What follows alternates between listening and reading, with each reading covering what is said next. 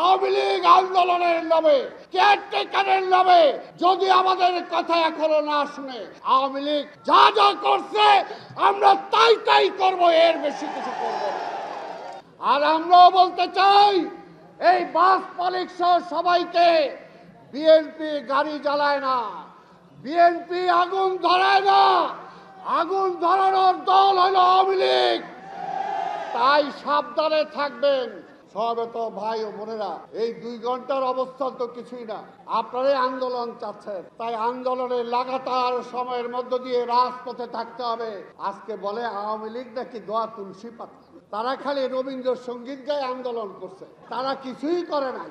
আমরা পরিষ্কার কথা। ঢাকার মানুষ কি ভালো আছে? ভালো আছে এটাই একটা ডিম বারো টাকা দিয়ে কিনা খাইতে হয়। ভালো আছে এটাই যে বাজারে যে একটা মুরগি দুই ভাগ করে দুইটা পরিবার নিতে হয়, এইটাই হলো ভালো। আমরা যখন কর্মসূচি দিব, তখন ওই আওয়ামী লীগই কিন্তু ধ্বংসাত্মক কার্য করে বিএনপির উপরে চালানোর চেষ্টা করবে।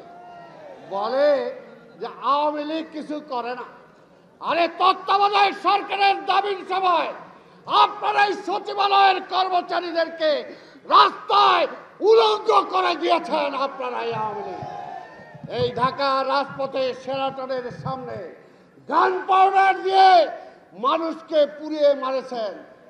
এরপরে ওয়ান ইলেভেন এনেছিলেন আজকে যে সেনাবাহিনীর প্রধান ছিল, তার বইয়ের মধ্যেই লেখা আছে, এমন বিভৎস ঘটনা পৃথিবীতে কোথাও হয়েছে কিনা আমি জানি না। যে আজকে সেই সময় জিপিওর সামনে জিপিওর সামনে লাঠি বৈঠা দিয়ে মানুষকে পিটিয়ে মারার পরে সেই মৃত মানুষের উপর তারা নেচেছে। এমন ঘটনা বিরল। হাসিনা বলে, এখনও সময় আছে, দেশকে অরাজকতার দিকে ঠেলে দেবেন না। অর্থনৈতিক অনেক বারোটা বাজাইছেন, আর বারোটা বাজায়েন না। বলে মিথ্যা কথাটাকে আমরা বলি, লজ্জাও পায় না। লজ্জাও পায় না, প্রতিটা দিন মিথ্যা কথা বলে। প্রতিটা সময় মিথ্যা কথা বলে। বলে ঢাকার মানুষ, বাংলাদেশের মানুষটাকে খুব ভালো আছে?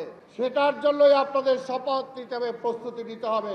আর এই ঢাকা সহ সমগ্র জনগণকে বলব, এই দাবি, এই আন্দোলন শুধু খালেদা জিয়া বা তারেক রহমানের না, এই আন্দোলন এই দেশের মানুষের বেঁচে থাকার আন্দোলন। এই আন্দোলন, এই দেশের স্বাধীনতা রক্ষার আন্দোলন, আপনার ভোটের অধিকার ফিরে পাওয়ার আন্দোলন। তাই ঢাকাবাসীকে বলব, আসুন সবাই রাজপথে নেমে আসুন। তাই বক্তব্য আমি দীর্ঘায়িত করব না।